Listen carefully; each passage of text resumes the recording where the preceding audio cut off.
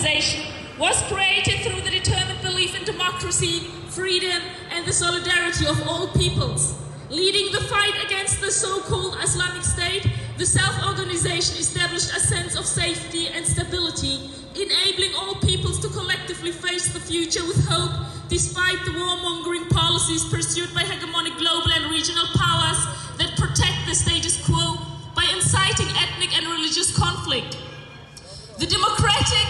Lived alternatives built up despite constant attacks, displacement, and economic embargoes made it impossible for the capitalist forces to assert their own interests in the region.